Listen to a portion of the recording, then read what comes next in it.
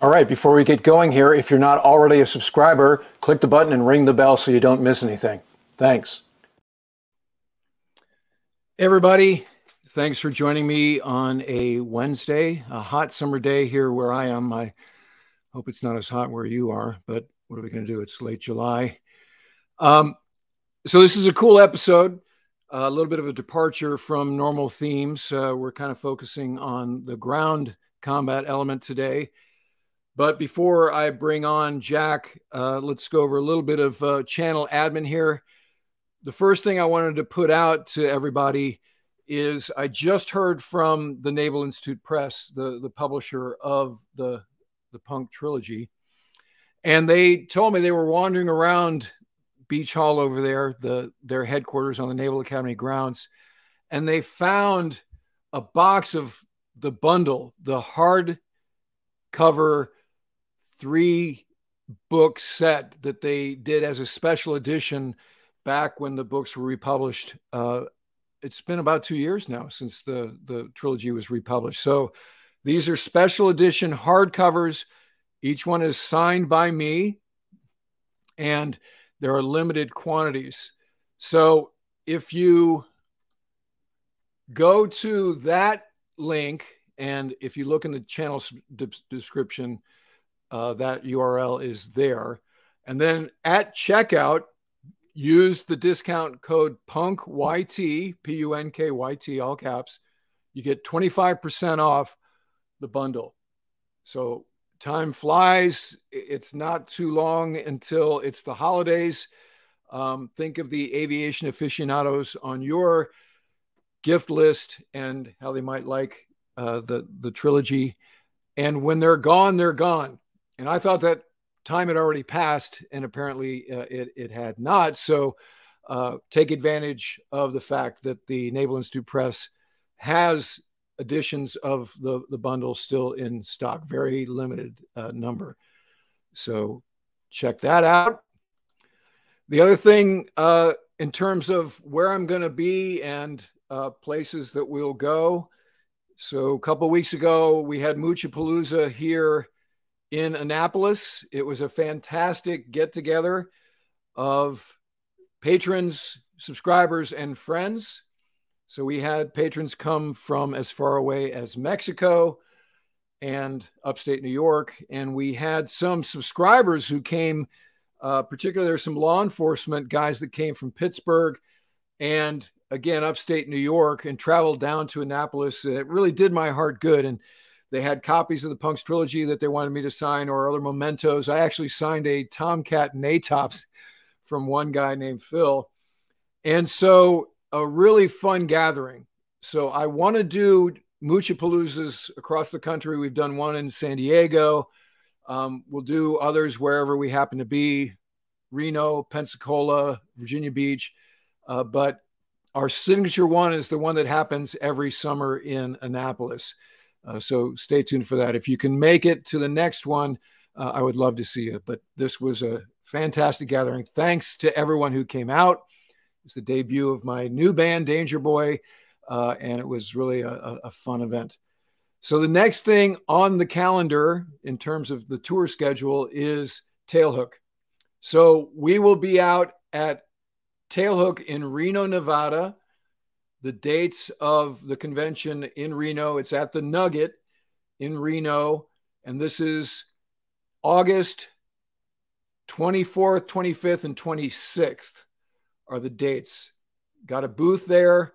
Um, we'll be doing some meet and greets in the lobby of the Nugget and some other fun things. So if you live in the greater Reno Sparks area, I would love to meet you in person. So please come see us on August 25th 26th, and 27th. We have a lot of giveaways at the booth, and uh, select folks will be walking away with a with a channel T-shirt, which we've had specially designed for Hook. And then the last event is the Oceana Air Show. So this is September. Let me make sure I get the dates right.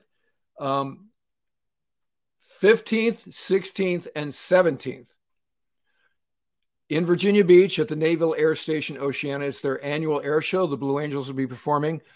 So we're taking the tour of RV down there.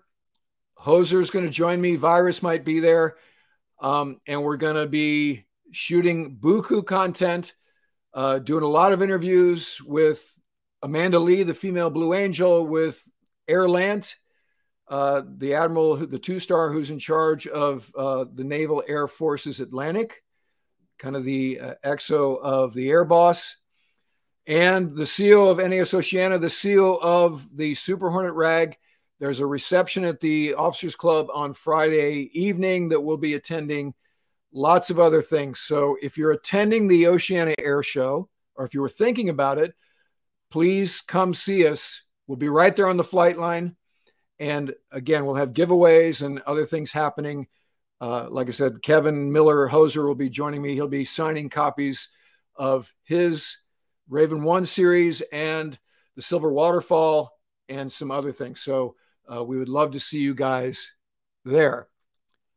And then later this year, we'll be going to Pensacola for the Blue Angels homecoming show and be doing some stuff with Hoser at the Naval Aviation, Naval Aviation Museum down there. So, uh, really excited to get out of the attic and uh, get out there and, and, and meet folks in person. Like I said, we just had a fantastic time at Moochapalooza. Looking forward to Hook coming up very fast, and then Oceana. So, all right. Um, I haven't done a live stream for a while. In fact, the last one was my safety stand down uh, review some weeks ago. Um, I'd like to do them more often. So I wanted to use this opportunity uh, with Jack Murphy to go ahead and do, do this in a live stream format. Um, I want to address questions, but as I've said before doing live streams, uh, I'm kind of a one arm paper hanger. So uh, please be patient. Uh, we'll, we'll try to get to the, the relevant questions and get them fused into the dialogue. But let me go ahead and bring, oh, before I bring Jack in, let me just thank uh, one of my patrons and, and subscribers, Benny Perez, for sending me this very cool Corsair, Korean War era Corsair. He put it on a cool stand with uh, with wings and a label. It's beautiful stuff. I got this. Uh, he mailed this to me. So Benny, thanks very much for for that uh, very cool model. It it has a place of honor on the other side of the studio here. So thanks very much. I I, I love receiving stuff from channel fans and and and you know thanks very much for the effort. I know this particularly is a gorgeous model um, made with with very detailed accuracy. So thanks again benny. All right. So let's bring my guest aboard. Jack good to see you. How are you doing today? Hey i'm good ward. Good to see you man. So jack and i go way back as we described in a recent episode of his podcast slash YouTube channel. So I was on, what was it, Jack, like a month ago or more? Yeah, yeah. Yeah. And and so this was a wide ranging discussion that went all kinds of places. Um, and I imagine this episode may may do the same. But this is the Team House, both YouTube channel and podcast. I highly recommend you subscribe and check it out. They have on special operators, they have influencers, they have all kinds of stuff. And these discussions go deep on myriad topics. Uh, is it a weekly, Jack? How often do you guys uh, put up? It's weekly stuff? or bi-weekly. I mean, every Friday we're live at 8 p.m., but we do a, a, quite a few episodes on Tuesdays and Wednesdays as well nowadays. Okay. So Jack and I go way back, and we'll talk about how we know each other. Um, and it's not through active duty circles, uh, but circles that covered the active duty beat as military journalists. So we'll talk about that the early days, the Wild West days of military digital media. But before we get into that, I want to talk about Jack's time as a U.S. Army Ranger and sniper. So, Jack, you were born and raised in New York. Yeah, yeah. I uh, was born in Sleepy Hollow, New York, and lived there uh, for a while. Then I went to high school in a town a little further north uh, called North Salem. Graduated from high school there. So I, gr- I grew up in, in Westchester County, New York. Okay. And so, not unlike some other folks that we know, when you witnessed the horrors of 9 11 and you were already kind of thinking of maybe mm-hmm. you'd want to join the military, but this definitely motivated you to go visit the recruiter's office, starting with the Marine Corps, ironically enough, and what happened with those guys? Yeah, I mean the let's see. So I was still in high school and I went to go talk to the Marine Corps recruiter because I mean, hey, the Marines are the place to be, right? Um and uh I wanted to be Marine infantry. Like that's it, right? And the Marine recruiter uh he kind of like did something kind of underhanded, I felt, even as a as a teenager. I mean, he he told me I had one day to sign up and if I didn't sign up right now, he wouldn't be able to get me in an infantry slot, which I mean, we can both kick back and laugh at that, thinking that the Marines or or or the Army would ever run out of infantry slots is just hilarious. But um, that was that little like uh, sleight of hand game he was playing there, and uh, it didn't give me a very good feeling. So I went down the hallway and talked to the Army, and uh, see what they have going on. And uh, you know, the Rangers was was you know the next thing that was the elite infantry that that the Army has. So your your spidey sense went off when this guy's giving you the hard sell, as you put it. And yeah, and, which was uh, weird. Why did why did he try to hard sell me? I was already sold. Yeah. Well, that's a lesson in sales, right? Yeah, yeah. Don't sell something that's already sold for all of you fledgling sales people out there. Um, but uh, so you you talk to the army recruiter and, and he mentions rangers. So I I want to clear it up for my audience who naturally self-selected uh, as interested in, in aviation, which is the theme of my channel. Um, so when you say rangers, like I'm a ranger or they have a ranger tab, that means a whole bunch of things. And, and, you, and so you got to kind of drill down, okay, ranger, but, you know. You sorry, Ward, are you still there?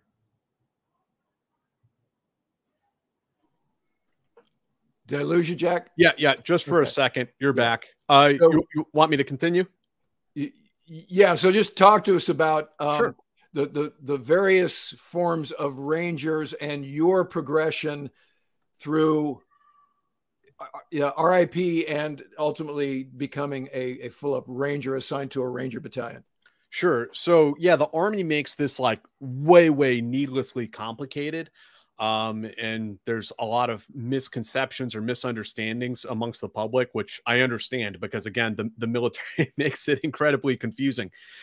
So within the army, there is a unit, uh, a, an actual deployable combat unit, uh, a special operations unit called the 75th Ranger Regiment. Um, and so the Ranger Regiment consists of 1st Battalion, 2nd Battalion, and 3rd Battalion and the regimental headquarters.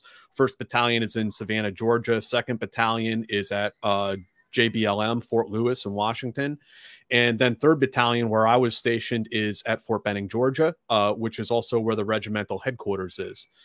Um, and so this is again, this is a elite infantry, airborne infantry unit. Um, they now um, build themselves as America's premier raid force. Uh, they conduct raids, airfield seizures, um, a number of other different tasks. Um, but at the end of the day, they are a elite infantry unit. Uh, now, the Army also has a school, um, a school that falls under TRADOC, the Training uh, Command. Um, so it is not a deployable unit, it is simply a training course or school located in the United States called Ranger School. So Ranger School is a leadership uh, and tactical training course that takes place over the course of two months in uh, Georgia and in Florida. And it is open to people all over the Army. Anyone in the Army can apply, including, you know, something that has changed in recent years is women can also apply to Ranger School. Uh, and so the course really subjects students to a lot of sleep deprivation and food deprivation and gets you cold tired exhausted and puts you in leadership positions where you have to lead infantry operations patrols out in the woods.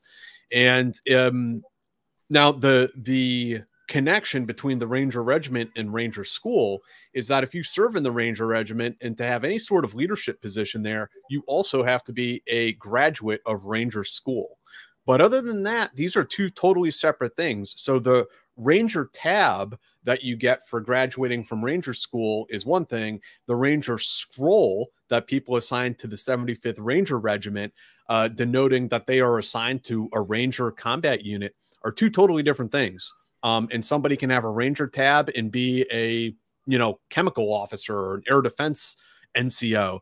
Uh, anybody can have a Ranger. Not to say that I'm not trying to put it down. I'm just saying that anyone in the Army can attend Ranger school and have a Ranger tab. And people look at that and say, well, that's a Ranger. And so the Army has kind of shot itself in the foot because the Army itself doesn't necessarily know how to define a Ranger, right? And uh, it, it, comes out. I feel like I write this article once a year um, because inevitably there's a political candidate who is calling themselves a Ranger. And then the debate breaks out are they really a Ranger? And well, at some to some extent, it does from the public's per, uh, point of view. It becomes a distinction without a difference. Like if I, if you explain everything I just said to you know the average voter, they're like, "Huh, okay, so what?" you know? Yeah. So I this I'm trying to think what the analogy would be in fighter aviation, and and so I, I think a rough analogy would be Top Gun, right? Have you been to Top Gun? And so now, because Top Gun reaches every squadron that rolls through Fallon, every aviator will be in briefs and debriefs and fly against Top Gun. So arguably, you could say, yeah, I've I've worked with Top Gun. I've I'm I'm a Top Gun guy, uh, but that's not having gone through the strike fighter weapons training instructor full up syllabus, or actually being an instructor at Top Gun, right? So if I go to Ranger School because having earned the tab is is beneficial on my record when I come up for promotion, right? Which is almost mandatory, right? On the officer side, if you want to be upwardly mobile past, say, major, you have to have gone through Ranger School as an infantry officer. Is that would you say that that's true? Yeah, I mean, I think that's that's in the ballpark. You know, the the SEALs did it a lot better. You know, a SEAL is a SEAL. You either have you either have your Trident or you don't, and even their JSOC guys are also SEALs. So I mean, it's it's much simpler by comparison to the Army, and and then there's a whole other conversation about special forces, which is also like completely misunderstood by a lot of people. So I have a cool picture of you and your mom. Yeah, that was um so this was when I graduated from the Ranger Indoctrination program. So that's the selection course to become a member of the 75th Ranger Regiment and at that ceremony you were, you know, awarded that uh khaki beret, uh which is the distinctive headgear of the Ranger Regiment. Um and now uh RIP does not exist anymore. It's now called RASP the Ranger Assessment and Selection Program. Uh, the course I went through was three weeks long, and now I believe it's eight weeks long. So the guys receive a lot more training um, than than I did when I graduated in 2002. So you had some challenges. Let's put it. Uh, oh yeah, it was going through RIP or through through Ranger School itself. Well, both. okay, well, talk to us about some of that because I think the fact you made it through in the face of you know falling along the way is is you know speaks to your motivation and character. So talk to us about, for instance, the 12 mile march that you you couldn't keep up. Yeah, with medical and, and different things like that, and and and how you were kind of uh, they threatened to throw you out of the, the course and, and you stuck with it. Yeah. Um, so there's a uh, 12 mile road march in, in as a part of rip it's like a forced road march it's uh, i mean the road march of course 12 mile road march is just a, a common infantry training event um, and i was you know 19 at the time i was in pretty good shape and i i felt that i should not have any big problem uh, accomplishing this thing um, but I, I, found myself falling out of the road march. Um, and then there was a retest, and I also fell out of that. And I, I felt terrible about it and very frustrated because it's like, what's wrong with me? Why can't I do this? Uh, why can't I do something I know I should be able to do? Um, and uh, I, I, went to see the uh, medics at the, the troop medical clinic down the street and they looked at me and they said, Well, yeah, half of your lungs is like halfway filled with fluid. Like you're sick as hell. it's like, okay, no wonder why I couldn't keep up. So they wanted to put me on a week's worth of antibiotics but I would have, have had to recycle the course. I mean, it was starting up on Monday, and it was like that was like three or four days from that point. So I was like, hey, I got to be back in the course and I can't be on any prescription drugs when I start. So they gave me like this like three day crash course on antibiotics uh, and uh, pounded those down. And yeah, so it was like three or four days later, restarted RIP. And um, that time went right through the course. Um, uh, they actually did a release road march and I ran the entire thing. And uh, I, I, came in first in uh, my class. So, I mean, I definitely wanted to be there and wanted to do it. And, um, but I mean, that's the thing about the Army. These are character building experiences, and the military does give you opportunities to try again, to recycle, to try to get your act together um, and fix whatever you did the first time. And, um, yeah, I mean, those are in retrospect, as much as it sucked at the time, I mean, they're, they're good experiences, they're good character building experiences, I think. That's a good way to, to put it. Um, so you you roll to uh, an operational unit. Uh, talk to us about your initial experiences downrange. Sure. So I got assigned to Third Ranger Battalion right there uh, at uh, Fort Benning. Uh, was assigned to ACO. Uh, the guys had just come back from Iraq, from the invasion of Iraq. I was actually in RIP when the invasion happened. And um, through talking to some people there, um, I actually had the opportunity to go to sniper section. Um, well, I went to ranger school first and, and passed that. And then when I got back from that, um, my unit was deployed to Afghanistan at that time. So I didn't, I, I, missed out on that first deployment because I was in ranger school and uh, went over to sniper section. Uh, then went to sniper school. And so my first deployment was to Afghanistan in the winter of 2004. So yeah, that's a that's a shot from a castle uh, on the Pakistan border, is up on top of a hill, and that was sort of a, a border control point. Um, so I was uh, part of a two man sniper element attached to Charlie Company of 3rd Ranger Battalion. Uh, we were also there with the battalion recon team, which you see in that picture right there. Um, it was their first deployment. Um, that you know there was a regimental reconnaissance detachment which was getting sucked up into other jobs. So each battalion had to stand up their own recce section.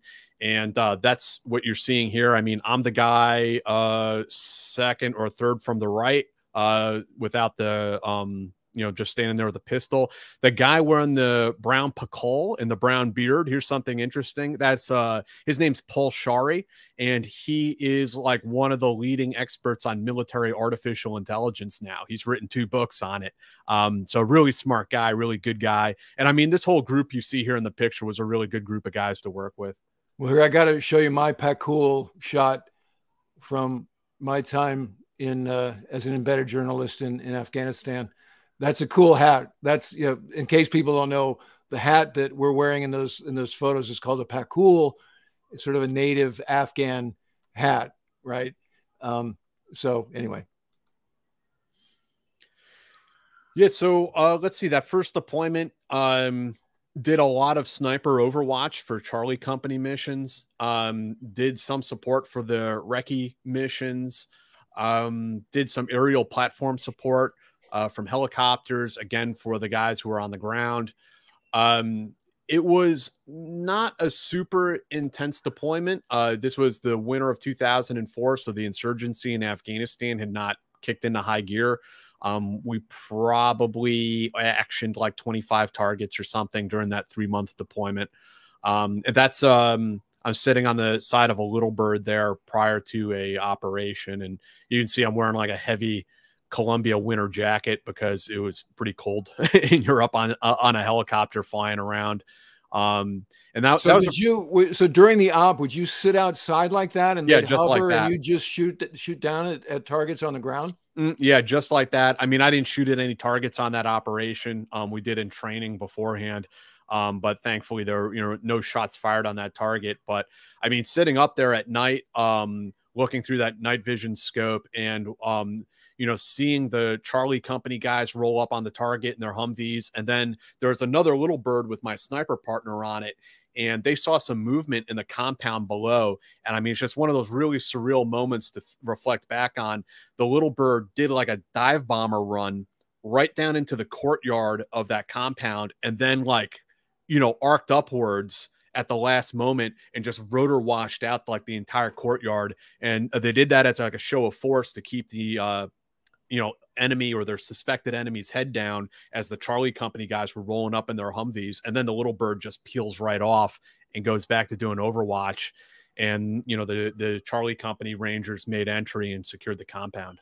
Well, here's another picture of you back at you know in Garrison with a little bird. Just in, in the event people don't know what a little bird is, super agile helicopter. The the guys who fly them are incredibly talented, um, and and so you know if you uh, see Black Hawk Down or any other mm-hmm. of those sorts of, uh, you can see what the little birds are capable of. That makes them more agile and and uh, nimble, say, than a Black Hawk um, certainly than an H-47. So a uh, cool, cool airplane. This that was in um that was in Fort Campbell during a training exercise, and you can see the the boom above my head there. That's for attaching a fast rope, um, so you can fast rope out of the helicopter onto a rooftop if you need to. Um, this is the MH model that is designed for ferrying soldiers around, operators, rangers, whoever. Um, there's also an AH model, uh, which um, is equipped with uh, you know rocket pods and uh, you know mini guns and can actually do you know gun runs to support you know guys on the ground. So here's another cool pakol shot. Um, this looks like obviously east uh, uh, part of the country, very mountainous. Where was this taken? This was south um, on the Pakistan border during a reconnaissance mission. Um, and yeah, it's up up in the mountains, obviously. yeah. So I know you operated out of FOB Salerno. I went through Salerno during my embed in 2010. Um, is that where you were based during this? This? Yes. Uh, uh, okay. Yep. Yep. That was at FOB Salerno, uh, 2004. So what I remember about FOB Salerno obviously you landed commercially in Kabul, some third party airlines, um, Safri Air or something. And then we they pushed us up to Bagram. Every every road goes through Bagram, right? And then the PAOs there ask you like what level of ride do you want to take? You know, and, and me and my managing editor editor Christian Lowe were like, hey, we want to go all the way. So they're like, okay, and they push us out to Salerno.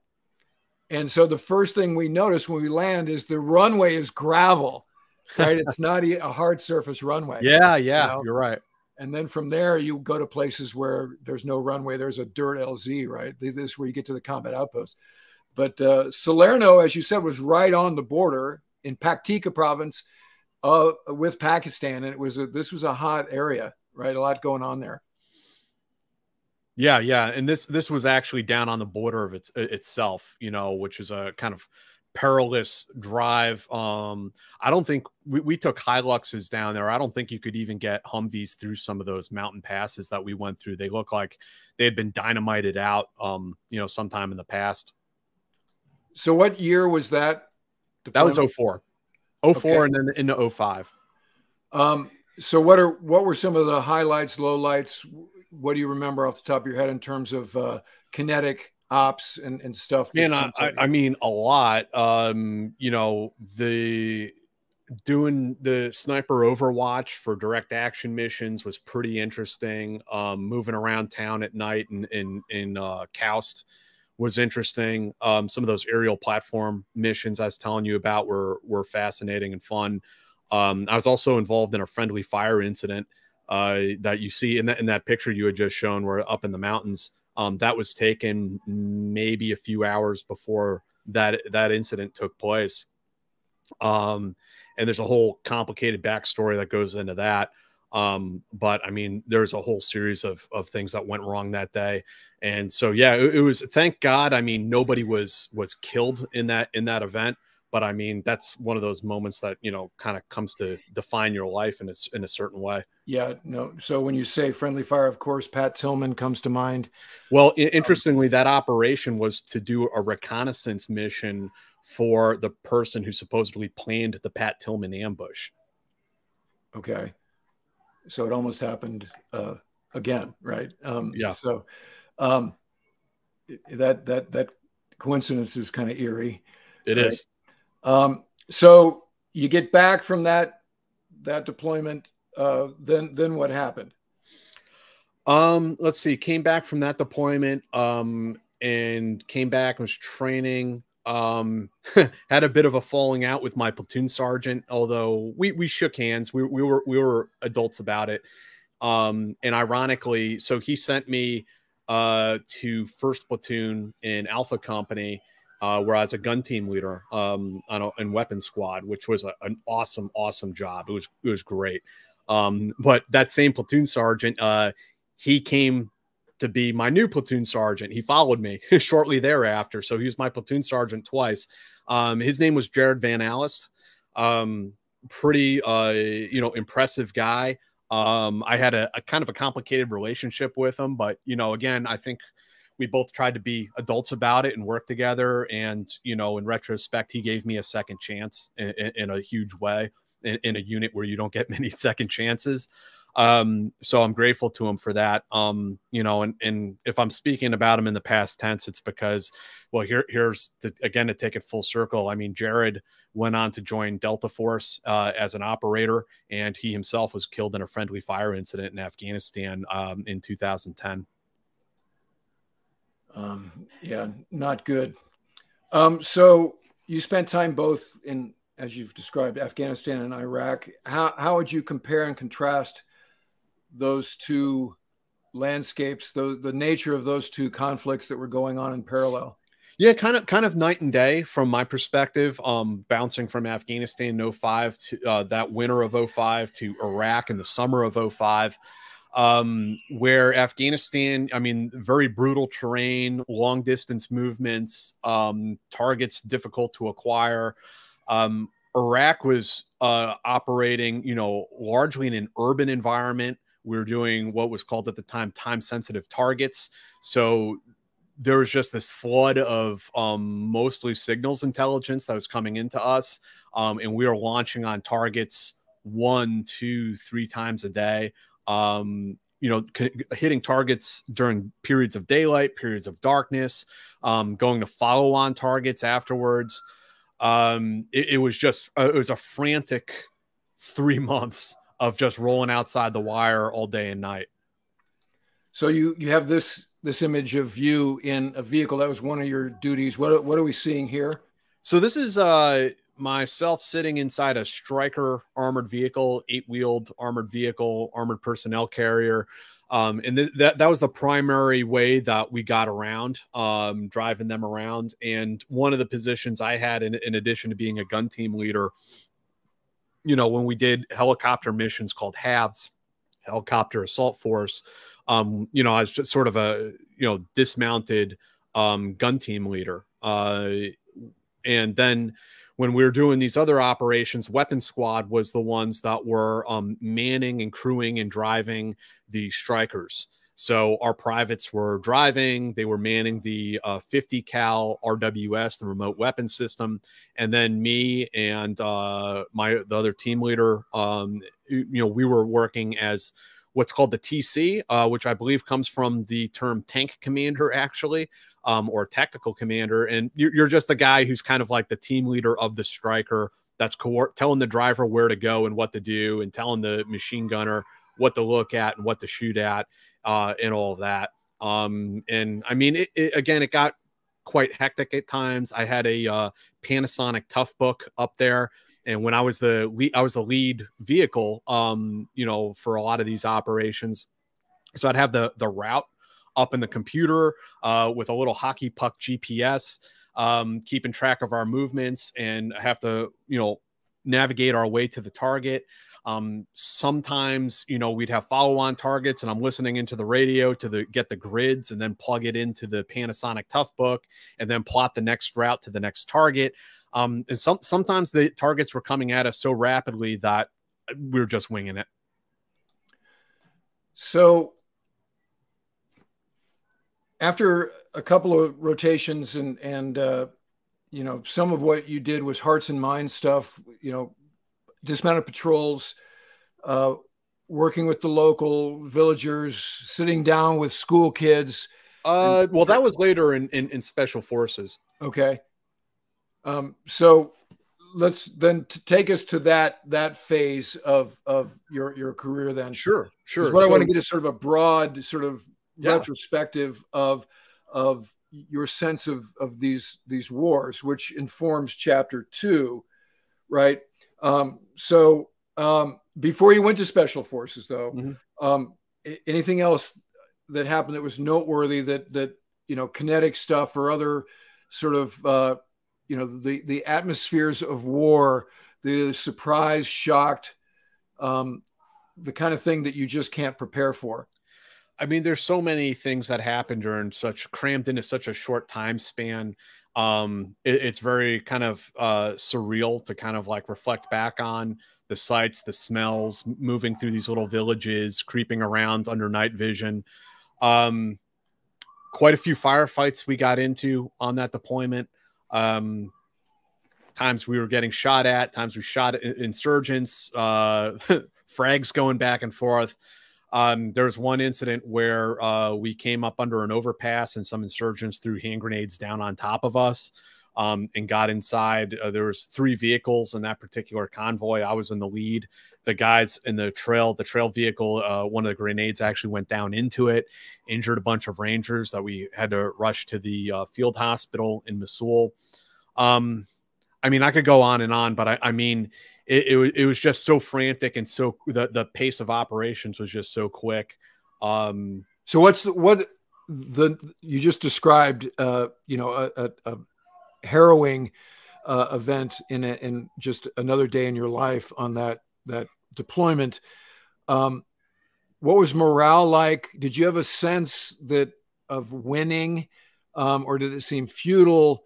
Um, did the tasking make sense in terms of the progression over the course of weeks and months, or was it just sort of a scattergram? Uh, how did you feel uh, over the course of that that particular deployment? You know, I, I think that um, morale was rather high at the time because it felt like the Ranger Regiment was finally being taken off the leash.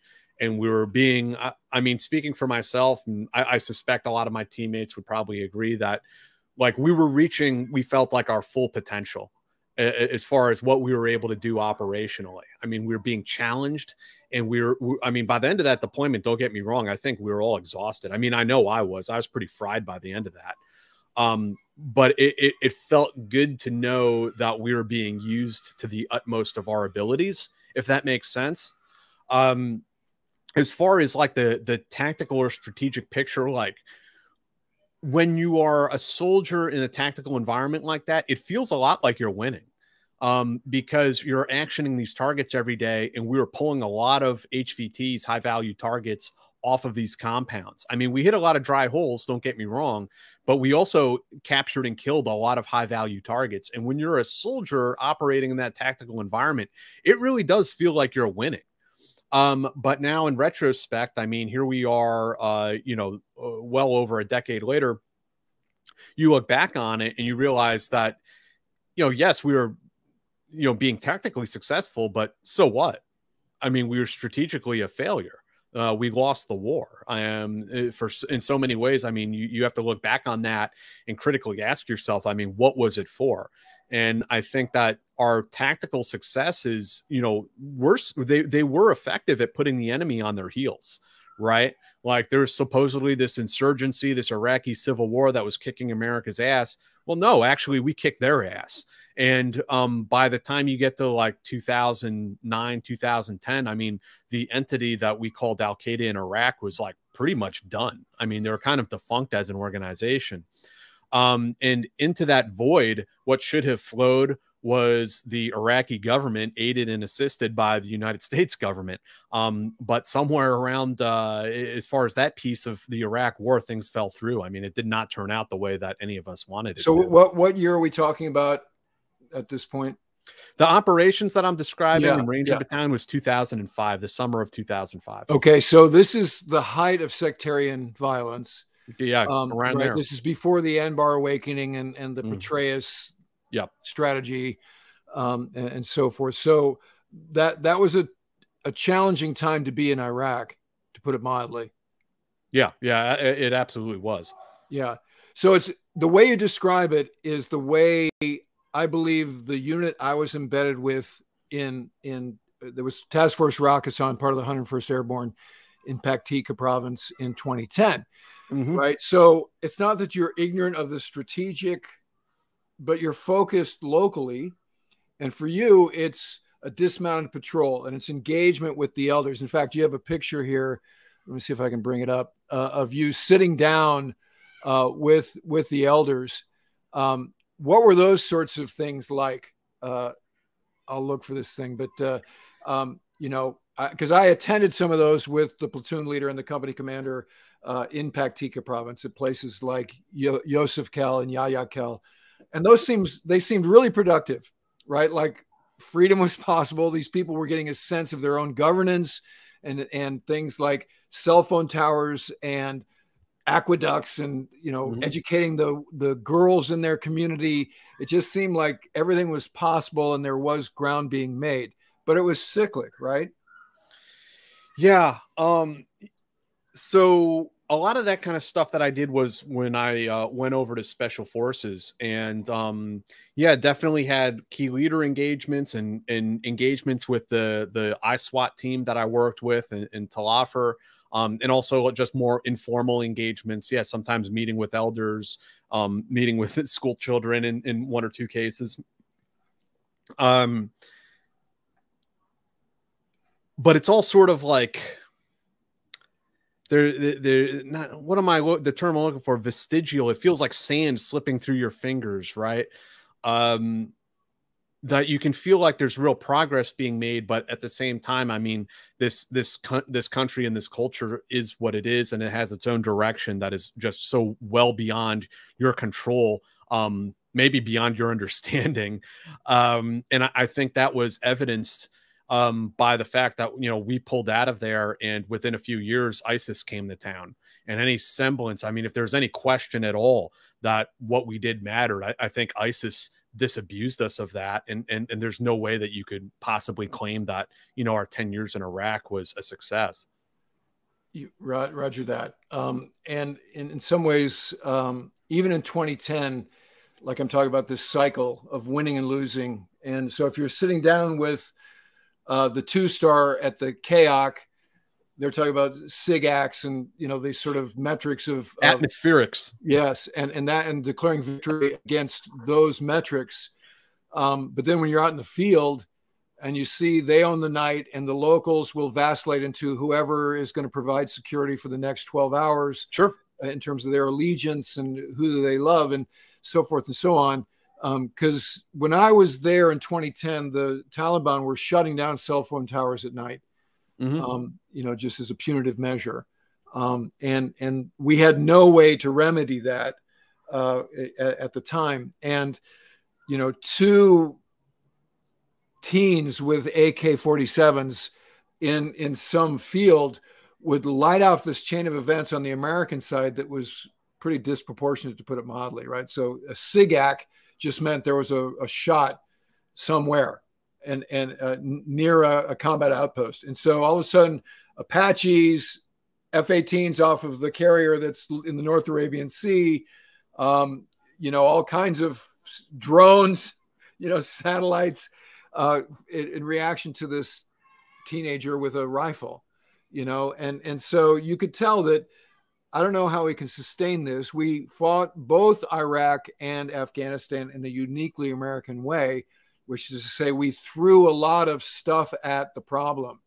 Right. Know? So, against an asymmetric threat, we create compounds. And the chaos that I sat in looked like NASA's mission control. I mean, huge screens and comfy chairs, and every analyst was in front of a three screen, you know, sort of a computer setup and it was super air conditioned and really nice you know and then you get to the outpost and they're they don't have running water and they're eating you know um, you know Clif bars and and uh, you know what was that gel stuff that you know keep everybody yeah, Rip-Its Rip-Its and you know that sort of stuff you know and red bull.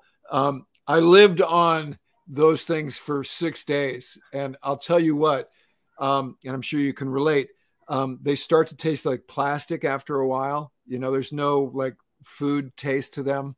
Um, and uh, so, anyway, the, the point I'm making here is, um, you know, as you see it all implode with a guy that has skin in the game and blood and sweat and tears in the game, you lost folks in the pursuit of some measure of security, democracy, whatever the lofty tenets that sent you there. Um, you know, there's got to be a sense of frustration, but we're getting ahead of ourselves because I want to talk about that once you put on your journalist hat. Um, but let's talk about because you've hinted a couple of times about your transition from ranger to special operator. What was that all about? So let's see, 2006, uh, or no, it was the last class of 2005. I went to the Special Forces Assessment and Selection, um, got selected, and then um, went to the Q course, the qualification course, which is like a year, year and a half of training. Um, I went there in 2006 and then graduated in 2007. So became a Green Beret at that point. Um, you know, for me, I mean, I was just ready for something new and different. Um, you know, deploying with Ranger Battalion was awesome. Um, but also I think during my fairly, you know, short time in Ranger Battalion, I I also probably participated in the seizing of Lawson Airfield on Fort Benning like, you know, a dozen times. Uh, some of that shit gets old after a while and you're just, you're ready to do something different. Um, so let, us uh, in terms yeah. of the nomenclatures, because again, I want to make sure that that I have this straight and and my uh, viewers have this straight. Um, so, ranger, if you're a ranger, is that special forces?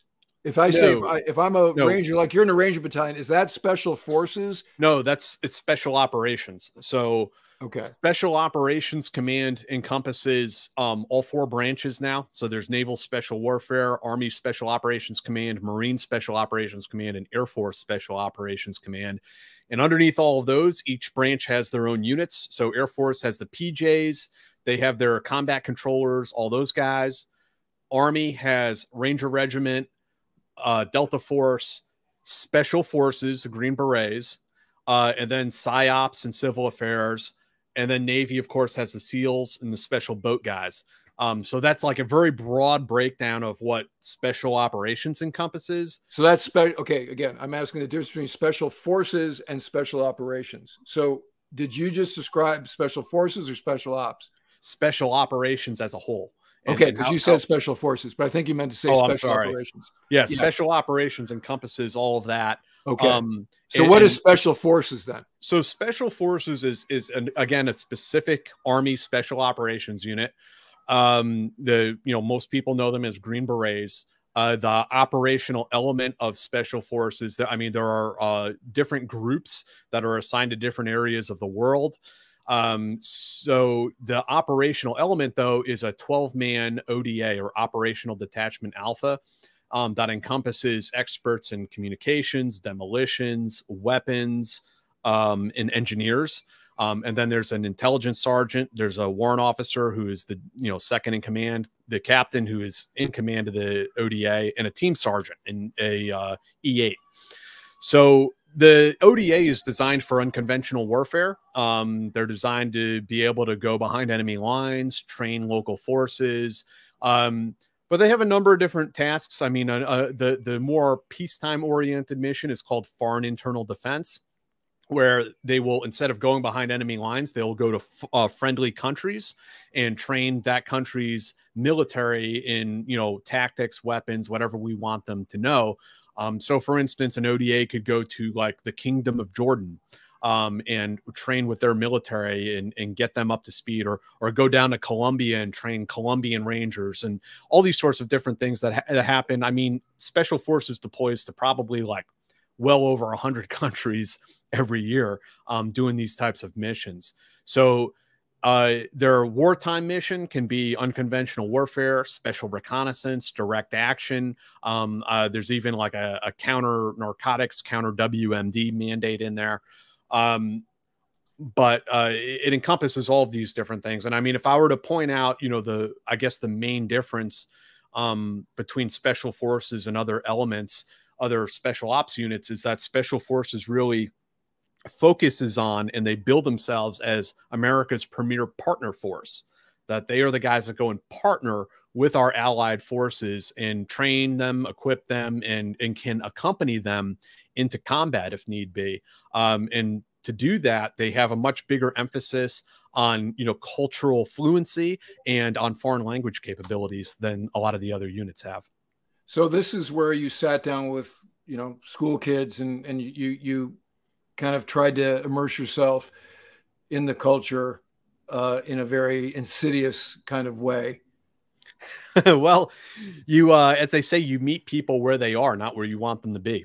So um, if they if they like to sit on the floor and drink chai tea, then that's what you do. Uh, if uh, you, you know it, it's it's kind of adapting to whatever the local people are, whatever their customs are, and and trying to meet them at that point, and then build rapport with them and build some sort of a relationship. So again, what I saw when I was embedded and and attended some of those um, gatherings of the tribal elders. Uh, my sense was there was good work being done there. You know, the they had, uh, in fact, I rode in an MRAP with the uh, the battalion commander and the governor of Sharana from Sharana to uh, uh, Yahya Khel and sat down at a shura with the, the, the tribal elders, uh, along with the Angel Company commander, um, a VMI guy named Josh Powers, and West Point guy uh, named uh, Second Lieutenant, First Lieutenant rather Smith, um, and watched, you know, the look in the eye and the body language, and the Terps were there, and those guys are fantastic. Um, one guy named Chewy, particularly, was an all star.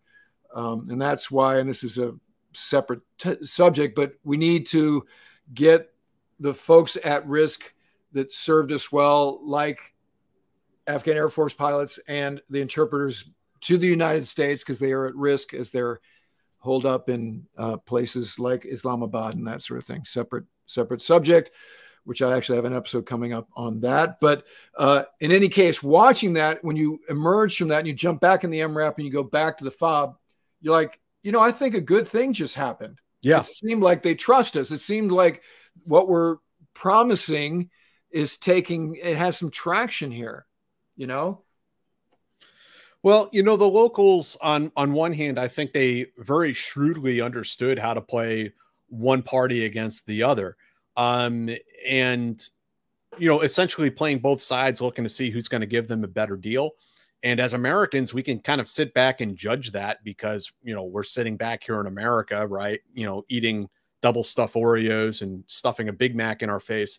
But I mean, if you live in a country like Afghanistan or, or even Iraq, the people there have to choose their you know strategic partners they they have to make these alliances to survive. I mean it's a totally different game for them.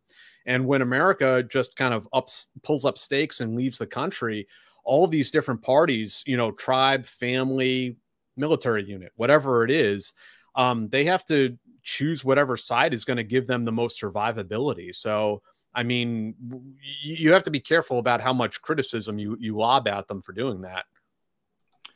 Yeah, I remember some advice I was given uh, by a, a, army vet um, on my way over there. He said, "Nothing is what it seems." Hmm. um, you know, so the even the children with the Batman backpacks um, will will look friendly um, and this kind of sounds Vietnam War esque, you know, uh, where it's like don't trust anybody.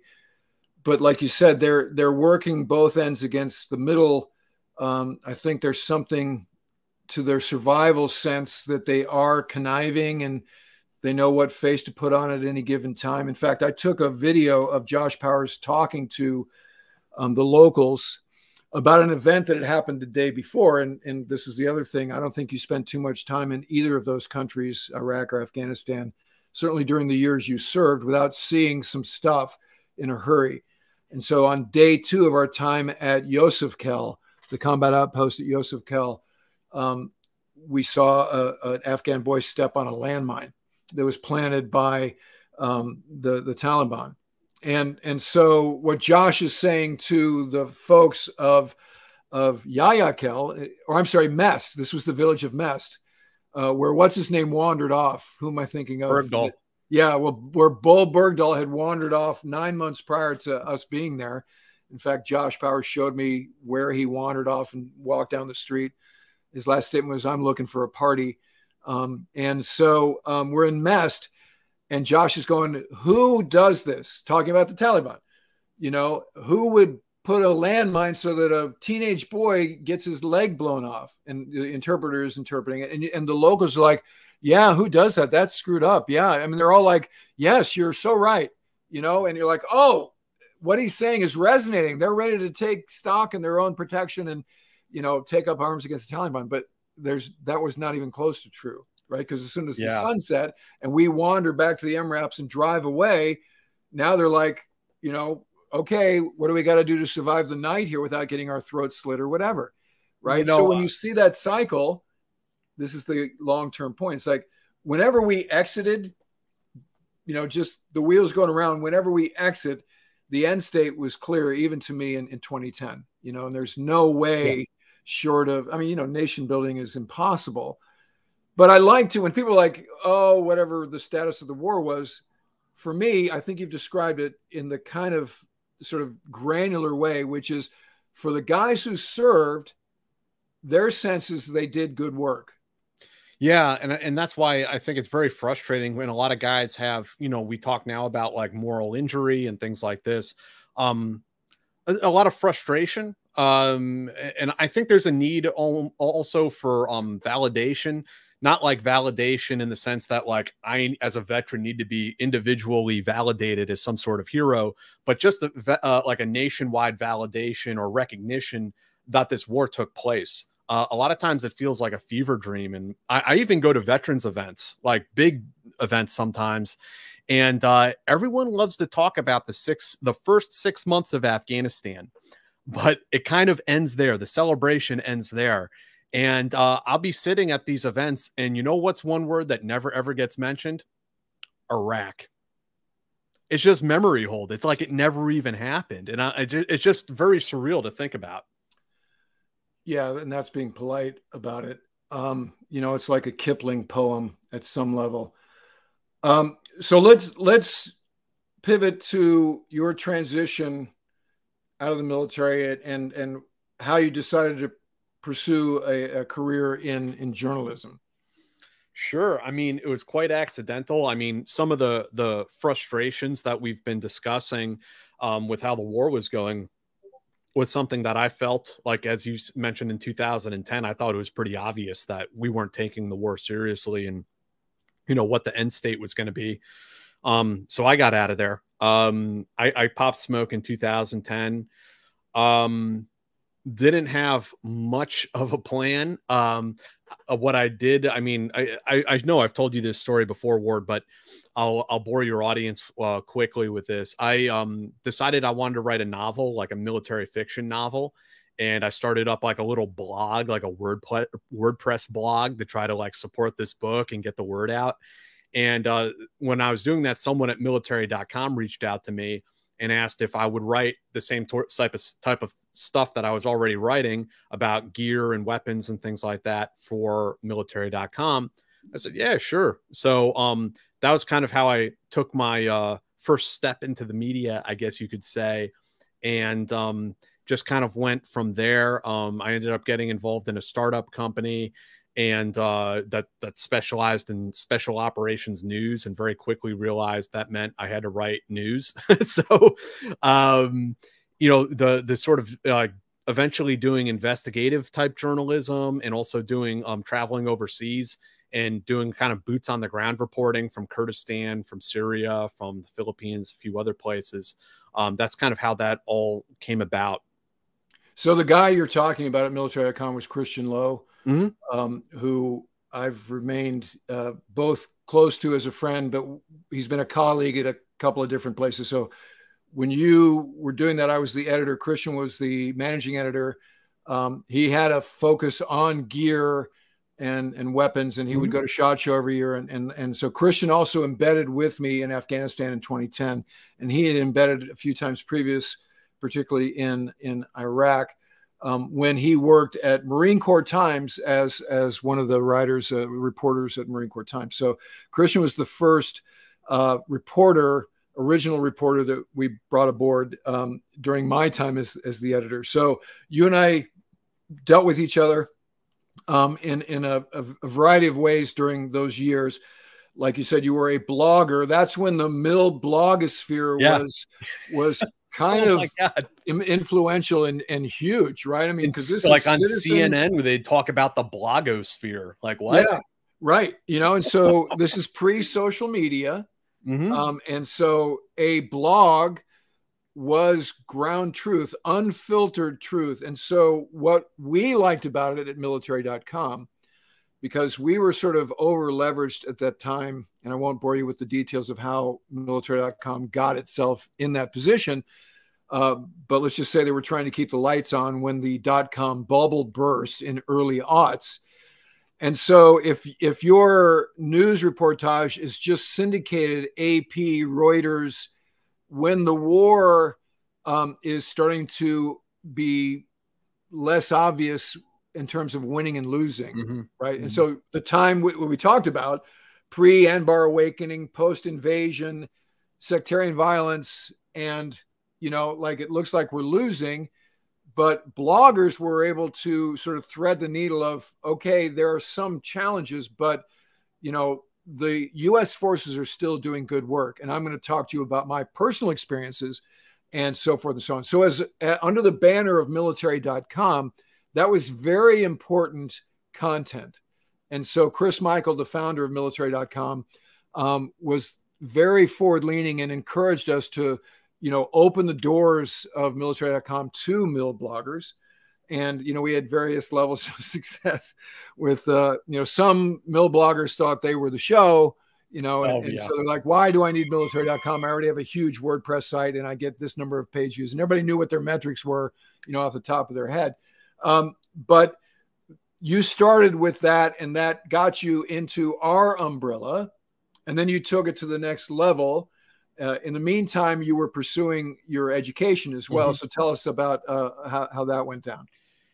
Yeah, I mean, during the time when I was trying to write this book, I um, I, uh, I, I enrolled in college.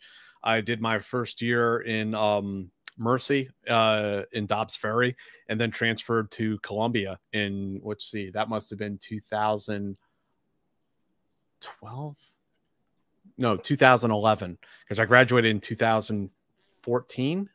Yeah, I think that makes sense. Um, so yeah, I was a full time student at Columbia during during this time period, trying to do all juggle all these different things. So here's an interesting comment because this is a name I haven't heard from a, for a long time. So Alpha Romeo One Five says you need to bring on Michael Yon and get his perspective. Do we know whatever happened to Michael Yon? Um, I uh I had some like brief interactions. I mean, he started talking to me when he started talking to me about how he was chasing cannibals in China. I kind of cut like, okay, I'm have, have fun with that. Um, because he was he was the kid. He was the kid in this early phase, right? He had some amazing photos. Yeah. He had some great reporting. Um, his blog was was really really important in those days. And, and then perhaps, uh, let's just say there was some shark jumping along the way, um, perhaps. Um, but that's a name, Alpha Romeo One Five, that I haven't heard for a long time, but it evokes this era we're talking about. The, yeah. The pioneers of whatever, the mil- yeah. military reporting space. Mm-hmm. So you get your degree, like you say, at college. Well, it was Columbia, right? And there was kind of a cohort of military veterans at Columbia in those days. And oh, they went on to do a bunch of things, right? There in New York. Um, now, did you use your GI Bill to get your degree? Yes, yeah, I did. Um, I, I, and I used it. Believe me, I used all of it. The GI Bill, post 9/11 GI Bill, the Yellow Ribbon Program, the Pell Grant, state tuition assistance, uh, and I still cash. I think I cashed in like ten thousand dollars in um in uh in bonds and then I think I went like twenty three thousand dollars in debt. what? How did that happen? Yeah. So yes, I used the 911 GI Bill and then some. Yeah. So that was a great benefit. You know, Oh, so yeah, if we if we did right by Huge. our war fighters post 9-11, It- It's that's amazing. it. Yeah. So that's Jim Webb. That's Paul Rieckhoff and IAVA did good work in those days. Um, who was his ledge affairs guy? I'm blanking on his name. He's a great, great guy. Worked closely with Webb's office. Um, it's funny because um, Senator McCain, who's a controversial figure uh, on this channel, I, I talk about him as an aviator, and every time I do, I I get flame sprayed by um, folks who are high and right about his existence. Um, but he opposed that GI Bill because he said, How are we going to pay for it? And his military advisor guy uh, was a classmate of mine, or is a classmate of mine, who I remember talking to him at uh, the Navy Notre Dame game in, in Baltimore. And he's like, Hey, how are we going to pay for it? I'm like, I don't know, but it seems like it's a cool benefit and people are going to use it in a good way.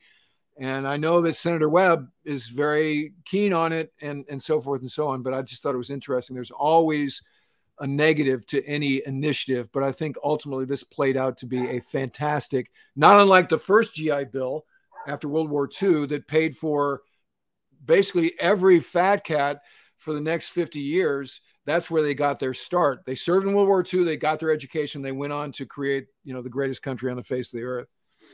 Yeah, the the post 9/11 GI Bill. I mean, it it there's a, a housing allowance. Um, so they're they're basically paying you to go to school. Um, there's a there's like a book allowance. I mean, there's all kinds of different things in there.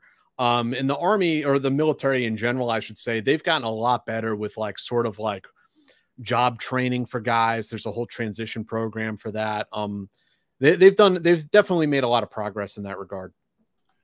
So you mentioned some of your early assignments. You know, you're always running to the sound of gunfire. So you're now a journalist. In fact, I got a super cool picture of you with your journalist hat on, although you don't have a hat on. Let me find this picture. Here we go. That's that's pretty badass. That's in uh that's Notice in- the Siggy. You're you got a Siggy going on there. Yeah, I smoked Um, at that time. Yeah. Uh, that was northwest Syria um, during the during the civil war. It was that was early on too. That was like 2014 um, that I went over there. So who were you working for in that in that capacity? That you I was went through it? working for a little startup website that you know I had no top cover whatsoever. Um, I didn't even I know that much about journalism. Um, so it was really just like, and, and I mean, it really was winging it. I was out there flapping. Um, I used what connections I had and was able to make, and got smuggled into Syria. Um, with the the PKK actually smuggled us across the border. Um, me and a couple other journalists, and we were over there for you know a couple weeks. So, in some ways, your capacity as a military journalist is even more risky, hairy than Oh, your yeah. Yeah, time as a special, as a Green Beret or a Ranger. it was it was like Robin Sage, like the this the training exercise that you do, unconventional warfare training exercise. I mean, getting like you know linking up with the auxiliary and then they drive you up into the mountains and you go to this like guerrilla camp where all the huts are like camouflaged into the side of the mountain and you go inside and there's all the like different flags of the different kurdish movements kurdish independence movements and you one by one shake hands with all the people in the camp i mean that's that's straight out of robin sage So, did you leverage that training to keep your head in those environments? I, I mean, it was certainly helpful in the sense that, like, it helped me. I, like, I wasn't surprised, or I, I, I was like, oh, I recognize this. This is exactly what I was trained to do.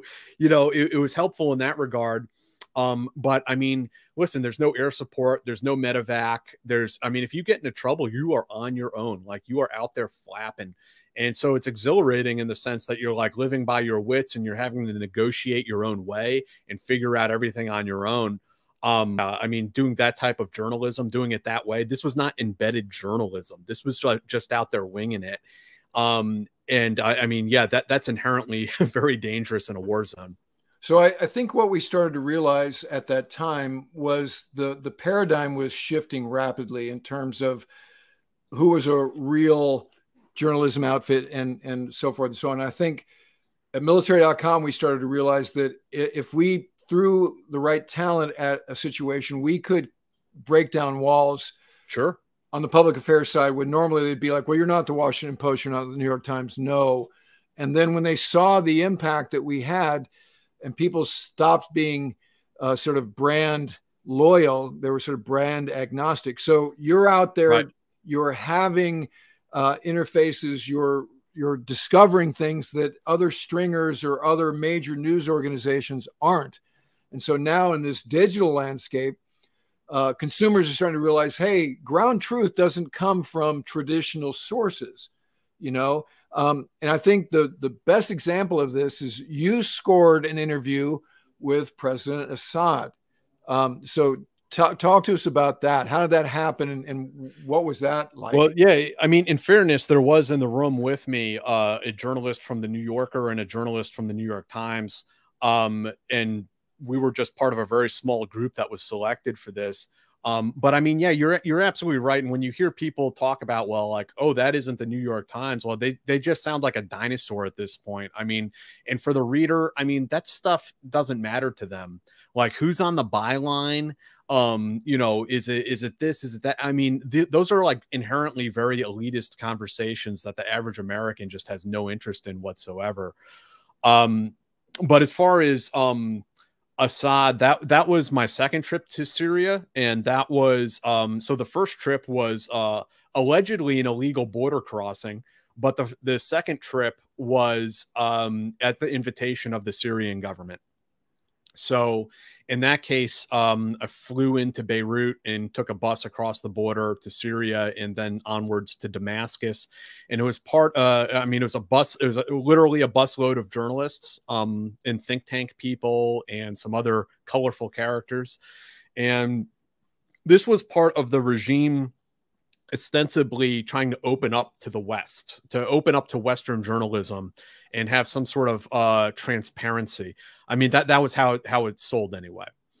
Um, so we were brought in, and um, there was a uh, it was a seminar event where you would go in every day um, to this big uh, auditorium in Damascus, and uh, they would have lecturers and panels and stuff like that. And some of them were okay, some of them were surreal, um, some of them were just you know bizarre propaganda.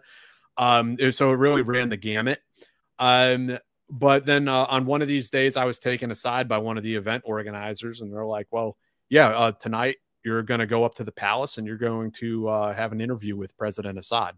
I'm like, "Huh, okay, sounds good." So, so I mean, what was what was it like? Was he candid? Was it weird? Did he you know was it cryptic? What what not, what was not, that not, not not weird not not probably what you expect. Um i took a car ride up to the i believe it's the summer palace that's up in the hills um came out and uh went walked into the foyer and uh there was a uh, minder there um who you know after a few moments, she said, "Okay, you can now proceed up the steps and uh, meet President Assad." And I figured we're going to go up there and get a briefing on like etiquette or some, you know, something like that, right? So I start walking. I'm the first one. I start walking up the steps, and as I'm like halfway up, I hear, "Good evening, hello," and I look up, and there's President Assad, and I shook his hand and walked the rest of the way up the steps, and we went into a little office and sat down and did the interview. And um, you know no it's it's not it's not it was not odd or or creepy or or maybe what people imagine. I mean he's a very personable guy. Um he has a lot of interests i think outside of government. Um we had i i mean it, it it's a appears to be a, a fairly candid conversation i thought. There was nothing that was like off limits. Um so in some ways it's a frustrating conversation um but you know you have to understand that president assad is sort of the outward facing public messenger of the regime. Um and so he's very polished his english is quite good um and he has answers to to the questions that you're going to ask. Now you know, is uh, there are, there are value judgments to be made? Uh, you know, is Assad a dictator? Is he a war criminal? I mean, these are all like important conversations to be had. But well, the the the other thing at the time you interviewed him, this is before this is early on in the conflict. And, this is 2017, and, and the other things, the the the chemical attacks, that sort of stuff came. Some of them, some later. of them had happened. I mean, this is 2017 by now. Oh, okay, okay, yeah. The barrel so, bombing. I mean, all that stuff was. The yeah. Russians were already there. Okay, okay. So did that come up in conversation at all? You're like, sir, did you? What do you think about you know chemical attacks on your own? Citizens that kind of was that part of the conversation or was that there, there was some conversation about you know are you uh, you know are you a war criminal? Like how does that how does that sit with you? Um there were conversations um it was um it was actually Anne Barnard at the New York Times um really asking a lot of questions about you know people being tortured in government prisons. And he was in he totally denied that and said you know where's your evidence? Do you have evidence? Do you have evidence? And you know, I think uh, several years later, you know, Anne published a story and she did have evidence. Uh, she developed that story quite a bit. So, um, I think it, it, was probably a frustrating conversation in, in, in, in, some of those regards. But I mean, Assad, you know, very much like plowed right through those questions um, without any sort of hesitation. Yeah. I mean, that's, that's an amazing audience that you got there um, at that time. So, um, you continued to develop your resume as a military journalist, um, and you know we worked with you a, a, bunch during the, the the years I was at military.com, um, and then you became part of another startup um, that was a special forces focus um, kind of a thing, um, and and so let's talk about the the, the balance of your you know military journalism career up to the point that you start doing the, the team house part of that that uh, uh, um, brand. Uh, so, I, mean, you're also you got a million irons and a million fires, sure. and, and what the, I think any aspiring journalist, military or otherwise, need to understand that uh, you know to to make this a viable occupation. Um, you need to be both agile and uh, and able to jump on opportunities uh, you know, you change your jersey a lot, let's say. I guess being a baseball player is kind of a rough analogy. Just watch Moneyball again the other night, um, which I always love the way that these players are always either getting sent down or traded or so forth and so on. Uh, there's no job security. And that's kind of like being a military journalist. And uh, I think yeah, we've talked about the pioneer um, years of military journalism, and you're one of the sort of standard bearers for that first wave of warfighters that aspired to do sort of things that there was no path, there was no pipeline. Yeah. For what what you chose to do, um, there was a sense that you could be good at it, and it, it could be a way to make a living. Um, and and so you just I kept mean, going. There, there's also a sense that like if you have the balls, you can make your own way in this line of work you know, it, there it is sort of a uh, a libertarian, you know, anarchic sort of a model of journalism that like anyone can participate. And if you can perform, if you can get some big scoops, if you can report accurately and succinctly, um, if you're willing to go overseas and report from combat zones, if you're willing to do things that perhaps you know more established or legacy journalists aren't willing to do um, you can make your way and you can develop some sort of a niche in this in this line of work. And I mean, it's a great, great job. I love this job, but good lord, it's a terrible industry. it's just a horrible industry. So this is a conversation we had on your channel uh, at the Team House. Um, and let, let's let's delve in. Sure. Now, talking about how the media landscape has changed, better mm. for worse. Um, what are some initial thoughts about that? Well, yeah, I don't know if I'm even qualified to, to speak about the media writ large, right? Um, but I'll, I'll just speak from like my personal experience. Um, when I started writing and when I started doing this, there was no one else, not even setting journalism aside, there is no other like special ops war on terror guys in the media at all. I think maybe Tim Kennedy actually may have been the only person you really saw out there. Um, and I remember that quite specifically. And I understood that what I was doing was breaking the rules. it was breaking sort of like the the unwritten rules of special operations that you don't talk. Um, you certainly don't become a journalist and start like airing dirty laundry in public, right? I understood that I was breaking a lot of norms. Um, and I and I did that knowingly and I did it intentionally. I was I was prepared to break some glass. Um, at that time, yeah, there there was nothing else out there like it, and, and to this day, there's still a, a, a void. Um, there's a lot of like national level reporting, but there's still to this day not a lot of reporting of like, you know, soldiers entered and cleared a building. What happened inside that room? There's still not a lot of reporting along those lines. Um, but what what changed from you know I was I was very much an M you know I suppose a product of the 2010s digital media environment, you know, whether I like it or not. I, I existed in that world um, and grew out of it. Um, since that time, I mean, social media came around, and, and I, I would argue that it did change a lot of the things that I've been talking about here. Um, previously, the only online presence of special ops was like a couple like weird message boards where like some old guys would hang out and basically talk about how shitty all the young people are and and badmouth people who want to join special ops. Um, they they were kind of like the internet gatekeepers, and then you know the next wave in the 2010s kind of washed them away and made them completely irrelevant from that perspective.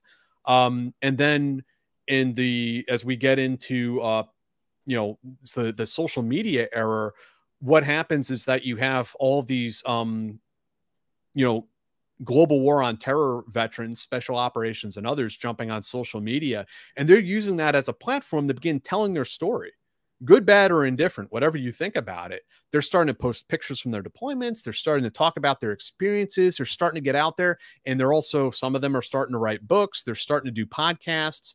And so the environment drastically shifts where you had these, these kind of strange web forums you know into in the 1990s into the 2000s you get into the 2010s and you get like websites like the ones i worked for and mill bloggers or military journalists if you want to call it that and then eventually they get displaced by social media. And from my point of view they, they the that type of reporting um, largely got displaced by you know veterans joining social media.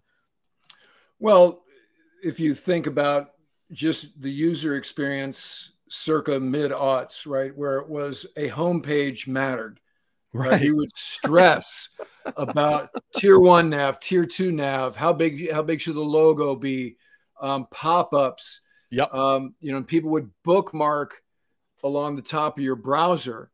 Um, you know, and and and that was the end. That was the way into information.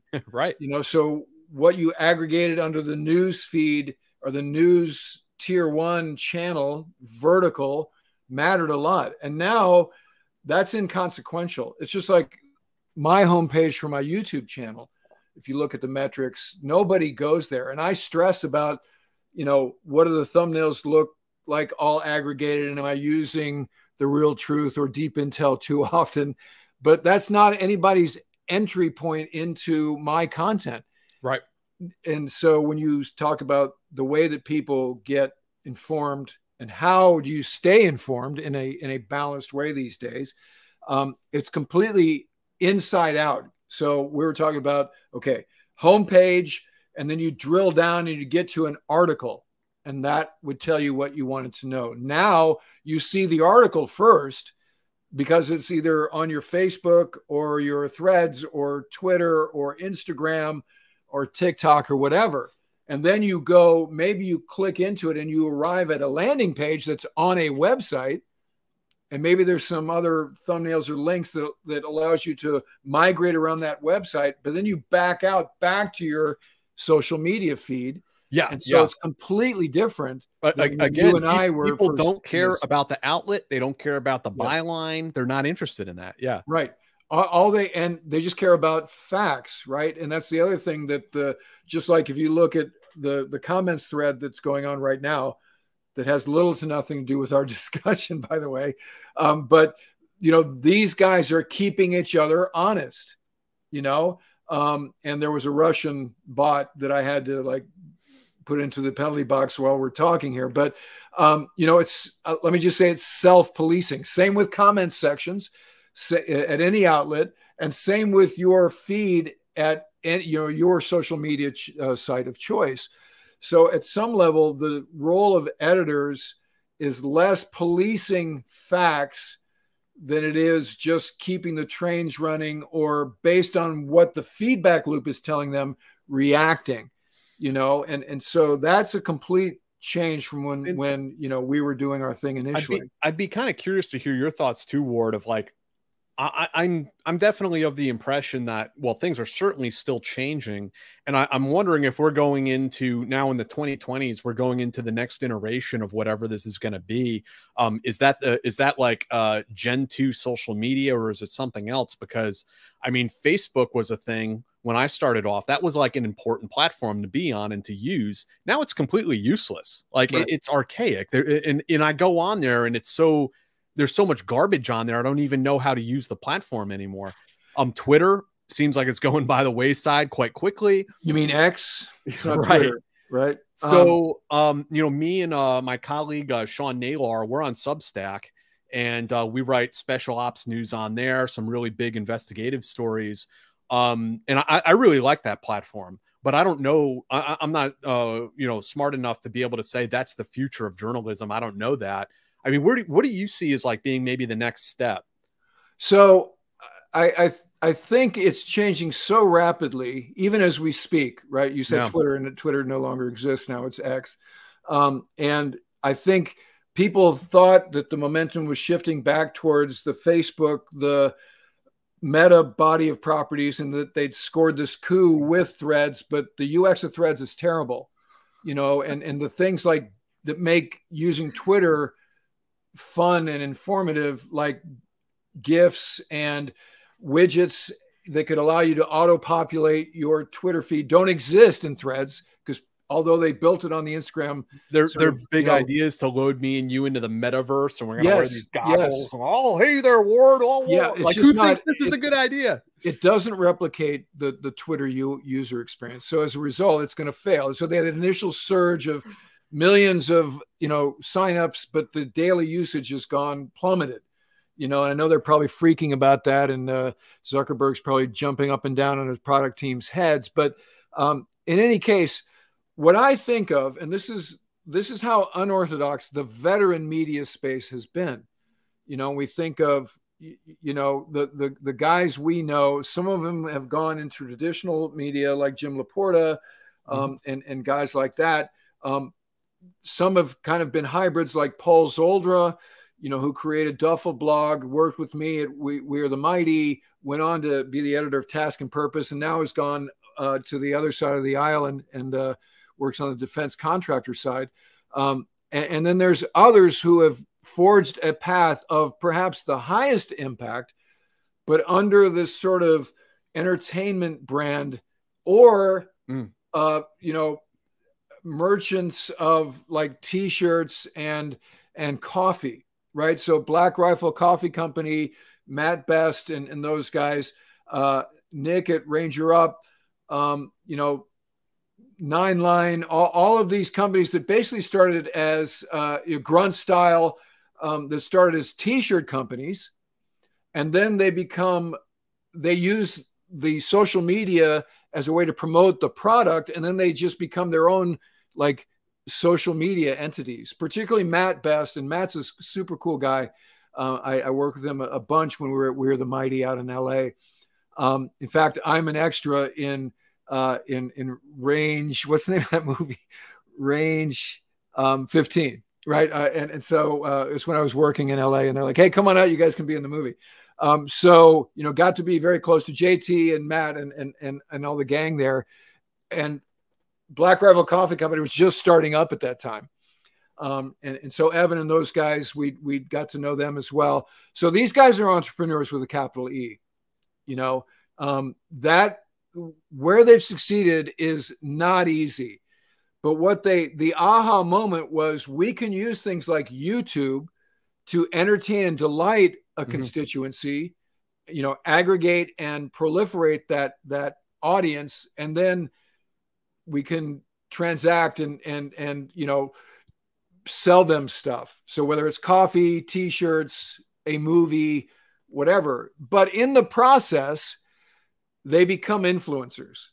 And I don't mean influencers like a Kim Kardashian kind of way, but I mean influencers in what is your political outlook, even on the margins. And I don't think but know, they've I, I, mean they've also moved on to like their second wave like they're like act two right because i mean you don't see like matt best in the media anymore you don't see those dudes like doing that kind of stuff and i don't know what they're doing but presumably they're like uh like uh nick at ranger up also another guy he's moved on like they're they matured you know as i hope we all do um, and like moved on to like their second act. I mean it in a good way. Yeah, like, yeah you're right. You're right. So they have the they have podcasts. They have like Paul started a basically media company mm-hmm. um, that is anchored by a Paul, Paul Rieckhoff. I mean, um, and, and uh, you're right. So again, these guys are are entrepreneurs. So This is what informed their success as as you know leaders in the military, both enlisted and, and on the officer side,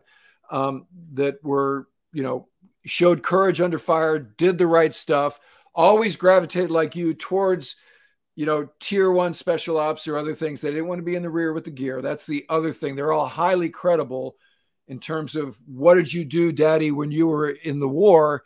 It's like, well, I killed bad guys. You know, what else you want to talk about? Right. And so um, that is what was the sort of root note.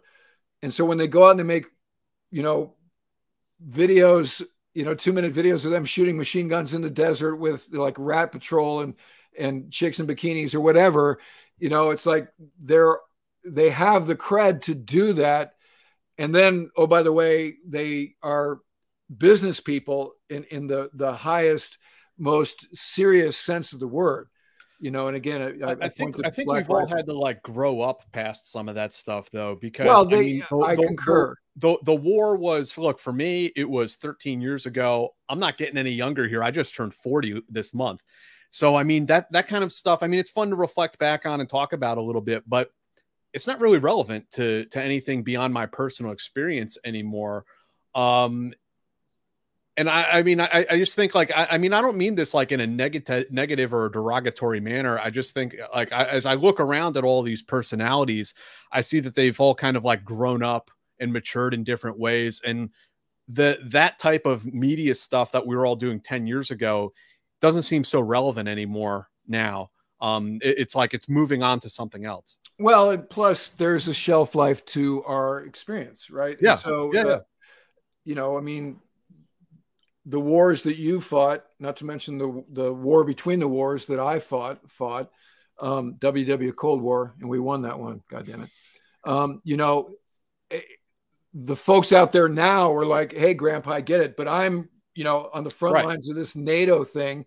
Right, I'm, right. I'm, I'm, in the Adriatic or the Ionian Ionian Sea doing eight-hour sorties trying to keep the Russians from coming west, or I'm sailing through the Straits of Taiwan, you know, eh, on the small boy. This is the stories I'm hearing. Yep. I'm like, bro, awesome. It's great to hear that you're doing what you trained to do. You're leading a life of the greatest consequence. So what do you need my sea stories for? You don't, yep. right? And that's the good news. And so I think to your point, you know, the the Ranger Up gang and the and the the BRCC dudes that started as Article 15 guys, you know, that had a shelf life. They're smart enough to see that we're running out of knots here. You know, um, being the wacky shoot rifles in the desert guys has a time and a place, but now we better triangulate this into something that has, a, you know, right. a staying power. And I think in the case of of the BRCC guys, when you look who's involved, it is all the the uh, the Article 15 guys, right? Except for Evan, who founded it. And and so there's a media arm. Our good friend Marty Skovlund is one of their main reporters there, and he does fantastic work. And so they have various divisions within this company that really makes vet influencers maybe some of the most important folks in America right now. And I think to your point, people miss that that that reality, you know, and, and what have the the war, the post 9-11 war veterans gone on to do? In some cases, it's guys um, uh, like uh, who am I thinking of that uh, Massachusetts congressman who worked for Petraeus as a Marine. Sorry. Um, somebody in chat, tell me who I'm talking about.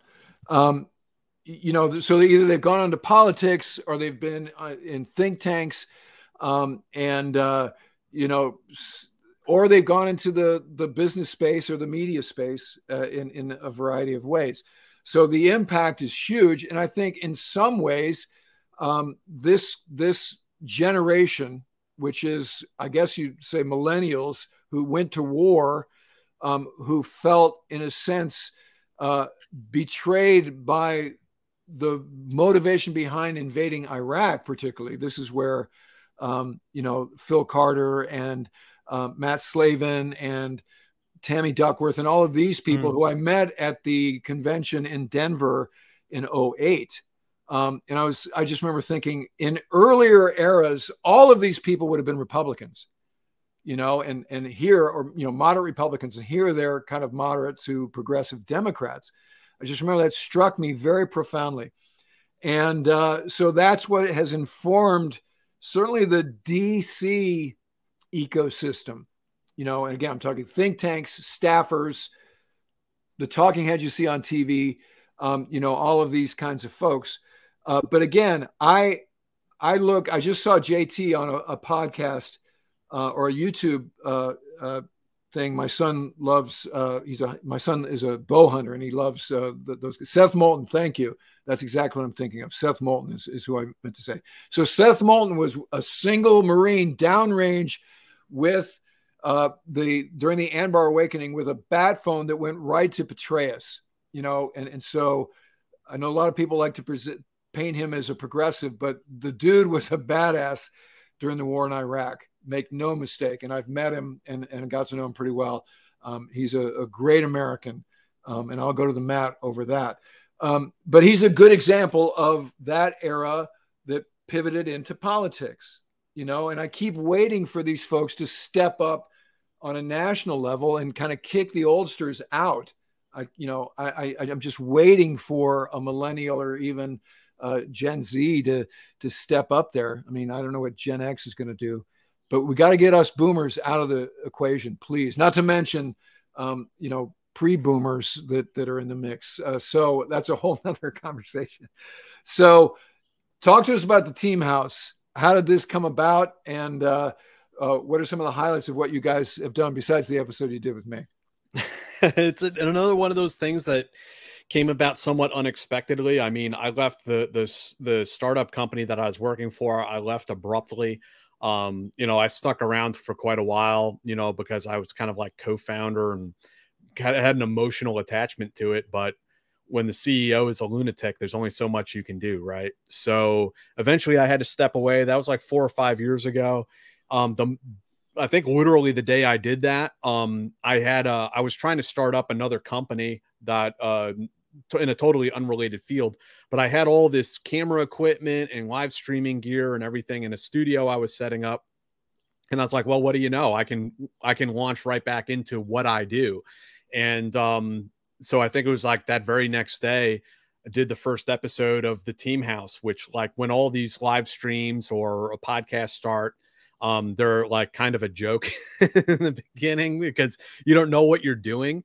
Um, so it took a little while for us to get uh, up and running, right? Um, COVID hits. We're fortunate that because it's a live stream, we can do these things remotely and continue to build the business.